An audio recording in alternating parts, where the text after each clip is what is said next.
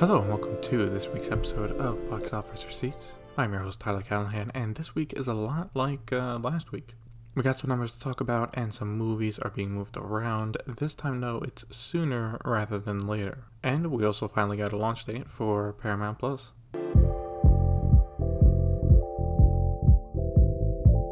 So the domestic box office is still quiet after the release of Wonder Woman 1984.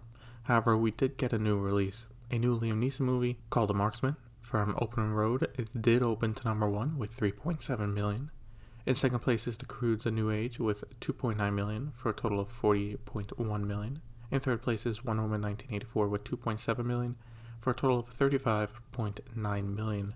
In fourth place is News of the World with 1.2 million for a total of 8.7 million.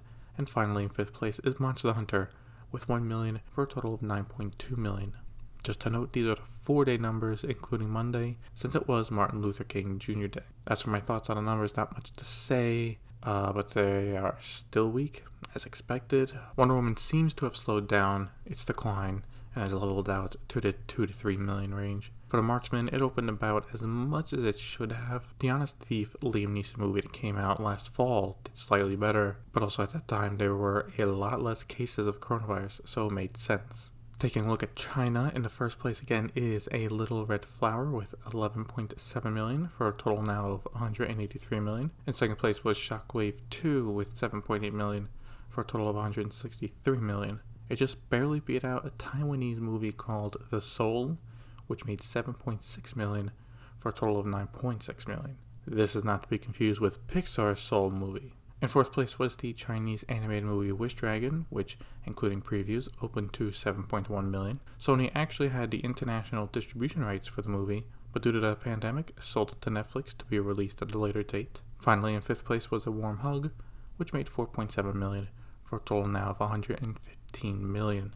As for the latest update with Soul, it finished outside the top 5 with 4 million and is now at a total of 42.9 million.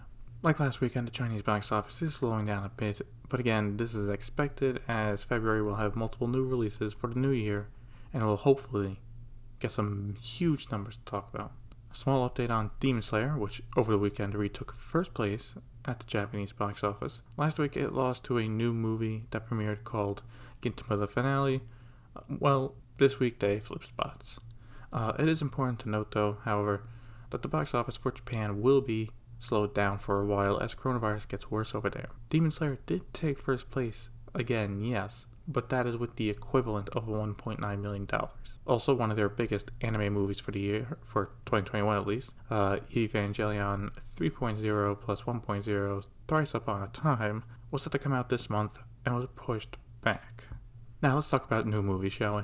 Warner Brothers has come out and announced a release date for their Willy Wonka prequel movie. It has been years in the making, the movie we have all been waiting for, I know, uh, but it will be coming out March 2023 with Paul King directing. You would know him as the guy that directed Paddington. Why do we need this movie? Well, we don't. And unless Warner Brothers gets a famous, charismatic young actor for this, it will fall flat on its face on a release.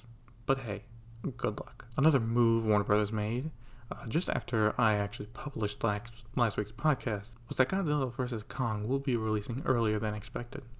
After having finished the deal with Lionsgate for the movie, they announced that the movie will be coming out two months early, now March 26th, instead of the previous May 21st date.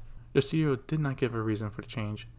As for what I think the reason they are doing it, it is mostly because of the vaccine projections. Based on what we see right now, the reopening of everything has been pushed back from March to May. If people are able to do things normally in May for the most part, theaters will be competing for attention from people who want to go out to eat, drink, travel, do literally anything. This on top of the releases set for that month, headlined by Black Widow and F9 currently, means even more competition. So by releasing it early, Warner Brothers can get more eyes and audience attention to HBO Max and could still get a bit of box office revenue. Now, that is my nuanced idea of why they could do it and why they are doing it. Uh, but it could also be as simple as that the movie sucks and they're just throwing it out the door because there's still no goddamn trailer.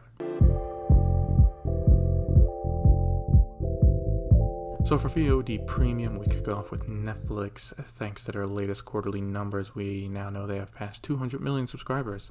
and are now at 203.7 million. And for the first quarter of 2021, they expect to get 6 million more subs. For content, they talked about how now they have 500 titles currently in post production. Those are some great numbers for the streaming service, and for them it's very much needed because while they're still number one, Disney Plus is catching up quite quickly in subscriber count. Sticking with Netflix, Deadline is exclusively reporting that they too have bought a Skydance film called Heart of Stone. The movie is an espionage thriller in the same vein as James Bond and Mission Impossible, but female led. As for the lead, well, Gal Gadot has already signed on to star as the main character, with Tom Harper directing. Deadline is reporting that this is meant to be a potential franchise starter, which is what I think interested Netflix the most. Without knowing how much they paid for it, I can't really be sure if this was a good deal or not. But a potential franchise is what they have been looking for. While Netflix has been dominating TV shows, and comedy specials, their movie franchises have been almost non existent. With The Gray Man and now Heart of Stone, both potentially becoming franchises. The streaming company is looking to fix that issue as soon as possible. Viacom CBS has already announced the launch date for Paramount Plus, the streaming service to take over for CBS All Access. It will launch on March 4th in North and Latin America, the Nordics on March 25th, and in Australia sometime this summer. The company will also have a special event on February 24th to go over the service in more detail, which is really needed. The issue I have with this so far is the lack of details.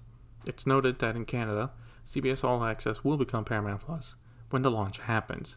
So, does that mean in America that this is not the case? Is there an upgrade path, or do people have to cancel and sign up for the new service? I hope these questions will be answered in the next month because, on top of that, we still do not know how much the service would cost. I feel they should move up the event a few weeks because, unless they do a big marketing push at the end of February, it seems that they are rushing this out the door. And that'll be for this week's episode of Box Office Receipts. Question for the week is if you are not one of Netflix's 200 million subscribers, why not? And what would it take for you to sign up? Let me know on Facebook. A link to is in the show notes. Thank you for listening. See you next time.